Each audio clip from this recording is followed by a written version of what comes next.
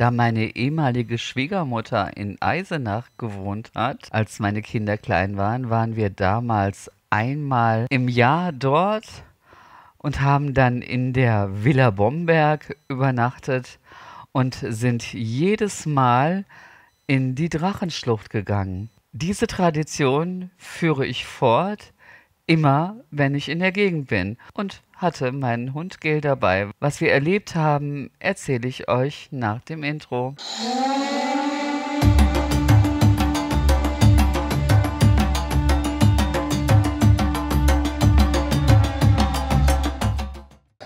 Hallo ihr Lieben. Ja, bei mir ist es schon Tradition, dass ich immer, wenn ich in der Gegend von Eisenach bin, diese Drachenschlucht hier runtergehe. Und jetzt habe ich ja gerade meine Stute zum Hengst gebracht in der Nähe von Bad Hersfeld. Da will ich später auch noch hin. Und dachte, komm, den kleinen Umweg machen wir und gehen jetzt nochmal die Drachenschlucht runter von der Hohen Sonne aus. Das ist so ein Parkplatz mit Grill und da haben wir uns früher immer abholen lassen, weil wir ja die Schwiegermutter hier wohnen hatten. Mittlerweile hat sie ihren ersten Mann wieder geheiratet. Es scheint so, als wären das Dualseelen auch. Und zu Dualseelen tue ich euch ein paar Videos in die Infobox rein oder eine Playlist. Und dann gehen wir jetzt mal hier runter eine wirklich ganz idyllische Landschaft. Aber wir kommen am Ende auch richtig in eine tiefe Schlucht rein, wo es ganz, ganz eng ist. Und äh, es ist halt jedes Mal anders hier. Es ist immer faszinierend, wie sich dann die Landschaft verändert. Was ich heute erstmals mache, ist die obere Drachenschlucht zu gehen. Und dann hat man halt von oben einen Blick auf die untere Drachenschlucht. Da unten sieht man auch diese Holzpfade. Und hier geht es zur Sängerwiese und zu einer Elfengrotte.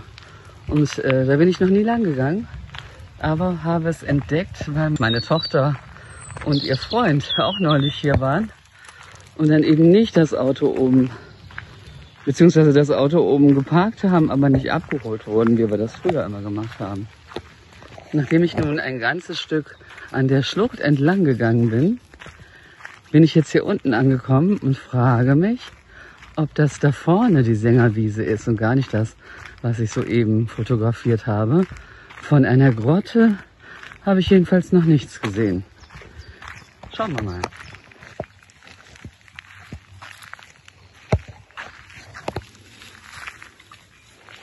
Es ist jedenfalls immer ganz toll, wie brav wie Gail ist. Man muss sich gar nicht um die kümmern. Die läuft halt einfach mit und achtet selbst darauf, dass sie nicht verloren geht.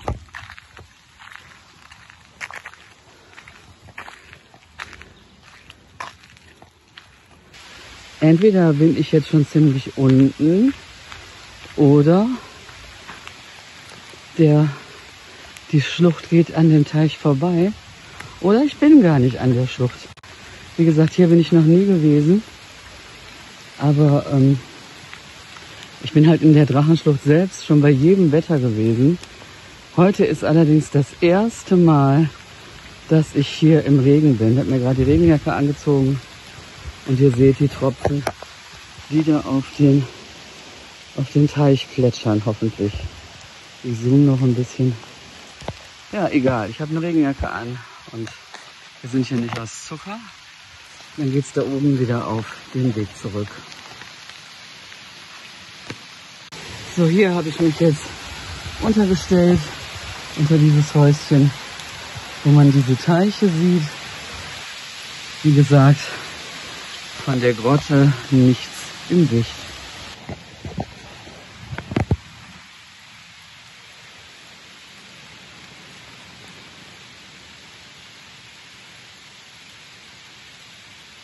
Der Gel macht der Regen nichts. Jetzt hat sie mich gehört. Passt immer auf, was ich sage, ne? Und den Enten macht es auch nichts.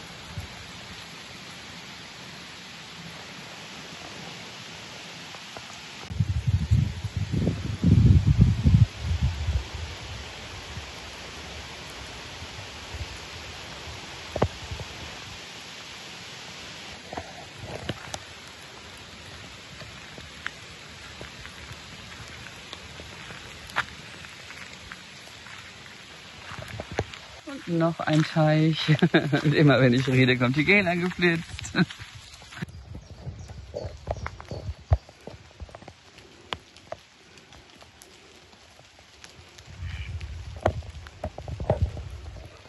So, da sind wieder Schilder.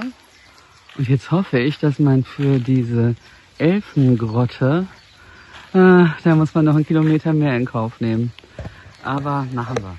Auf jeden Fall ein sehr verwunschener Weg, der sich hier entlang kringelt. Und hier sieht man überall Felsen. Ich nehme an, ich habe es fast geschafft. Da vorne ist auch ein Schild. Ich kann es von hier aus nicht lesen. Aber wo wenn ich daran denke, dass ich den ganzen Weg auch noch hochmarschieren muss. Uweia, uweia, uweia. Aber das Schöne ist es auf jeden Fall, hat sich gelohnt.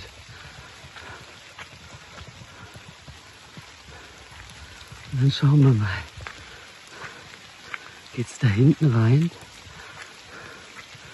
Das sieht schon irre aus, ne? Elfengrotte.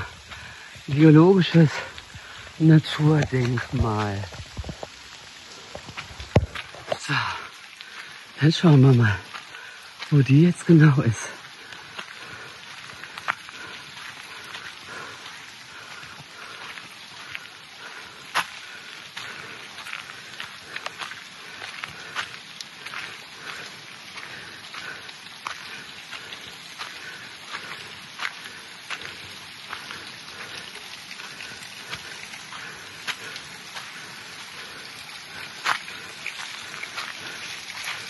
Hier krabbel ich mal nicht rein. Aber das könnte sie sein. Da geht es nicht weiter. Es scheint. Hier ein wunderschöner Wasserfall an den Felsen. Dann geht das Wasser runter. So, jetzt steht mir im Weg. Weitergehen. Toll machst du das. Ja, aber das ist sie, denke ich mal. Weil da oben, wo die gerade ist, sieht nichts nach einer Grotte aus. Aber schön ist es trotzdem. Jetzt geht's hier noch einen zweiten Weg hoch. Keine Ahnung. Ich hoffe, dass man so auch ans Ziel kommt. Todesmutig wie immer. Müssen wir wieder alles ausprobieren. Aber wenn man einmal oben ist, geht man ja eigentlich normalerweise auch irgendwann wieder runter. So früh gefreut, da geht es hoch. Ah, ich hoffe, dass es nicht höher geht als hier. Alte Frau. Die Geld ist schon viel weiter als ich. Aber ich glaube, das schaffen wir. Hier sind so Holzstufen. Ah, da bin ich ja mal gespannt.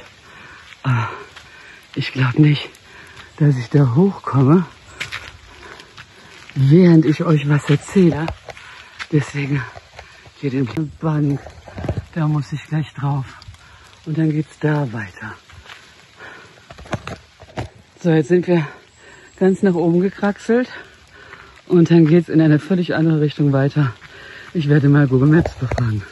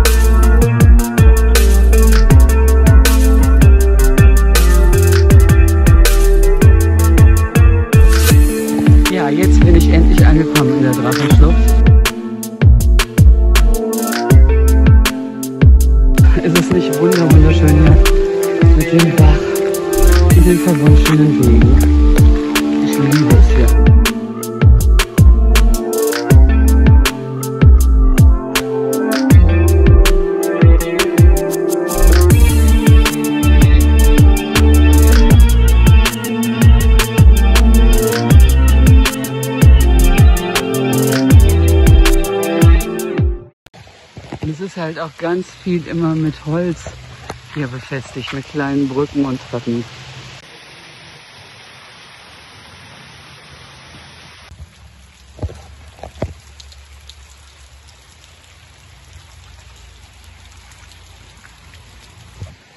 Ja, anscheinend hätte auch die Möglichkeit bestanden, von hier aus, von der Elfengrotte zu kommen. Und ich bin jetzt von da gekommen. Und jetzt geht's hier in die Schlucht rein, die wirklich super eng ist.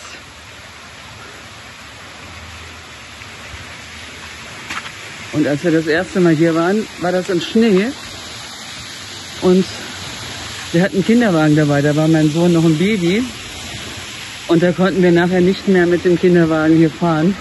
Musste also einer das Kind tragen und der andere den Kinderwagen. Und es geht ja jetzt ab hier bloß noch bergauf. Und dann hat mein Ex-Mann und also der Vater von meinem Sohn und sein Bruder, die haben den dann hier hochgeschleppt mit dem Kinderwagen. Die Treppen rauf, die da nachher kommen. Hört mal. strömt das Wasser unter einem durch.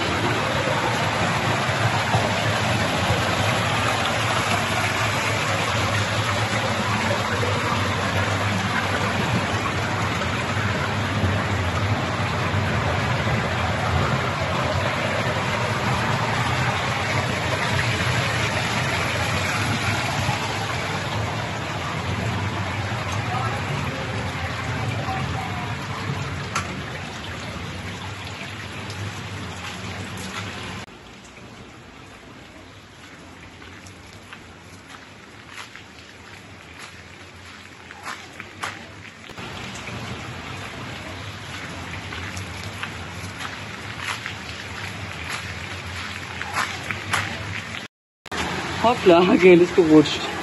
Agel, komm mit. Oh Gott. Das ist hier auf diesen glitschigen Bohlen ausgerutscht. Aber toll, dass sie das hier mitmacht. Die war noch nie hier. Und ich habe da überhaupt nicht drüber nachgedacht. Also ich werde irgendwann, wenn der Akku versagt, spätestens äh, eben das euch anders anzeigen, diesen Holzgang. Denn hier passe ich jetzt wieder auf Oh Gott, oh Gott, oh Gott, oh Gott. Mein Hund auch macht das Handy. So, jetzt haben wir das glitschige Holz bewältigt. Wir gehen jetzt hier in den Gang rein. Da ist Gegenverkehr, deswegen warte ich jetzt hier. Ja, aber auf diesen kommt die Geld super klar, Gott sei Dank. Ich hatte jetzt schon Angst gehabt, ich muss die Geld fahren.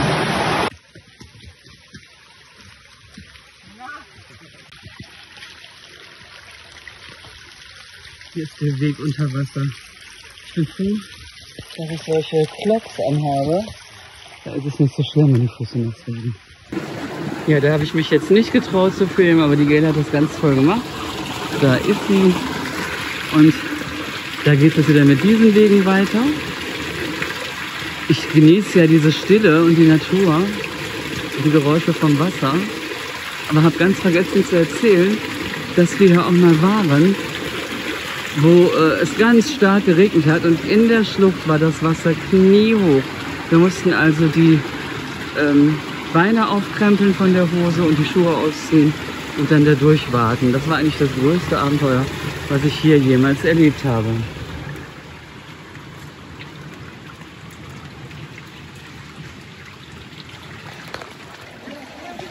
Und jetzt nach so einer Viertelstunde, wo man eigentlich ganz bequem gehen konnte, kommt noch mal ein Stück Schlucht, wo es wieder ziemlich eng ist.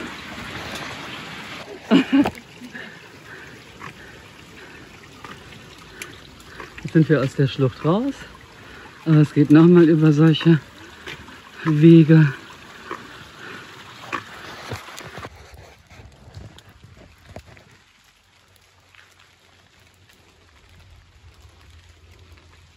Also es sagt, das Navi noch eine Minute bis zur hohen Sonne. Kann man sich bald gar nicht vorstellen, weil man auch so tief unten in der Schlucht ist. So, jetzt beginnt der Aufstieg. Und dann gibt es wahrscheinlich nur noch Treppen. Ich hoffe, es mit der G Oh, es klappt aber ganz gut. Toll machst du das. Lauf.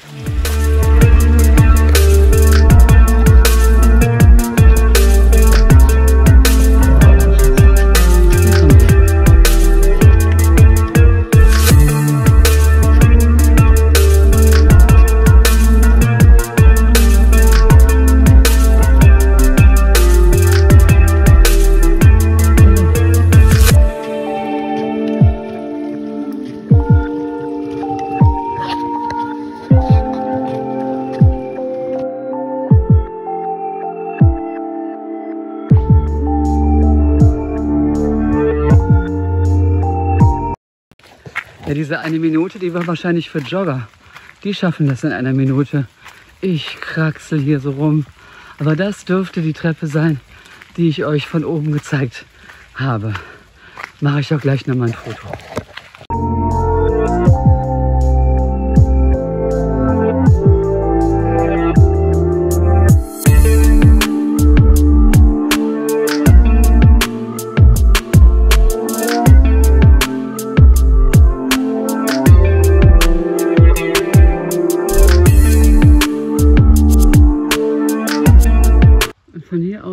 Sieht man Spaziergänger, die den Weg gehen, den ich am Anfang gegangen bin. Ich sitze hier auf einer Bank, die zeige ich euch jetzt mal schnell. Da ist die kleine Grill. Und hier habe ich mich nochmal auf die Bank gesetzt, kurz vorm Ende.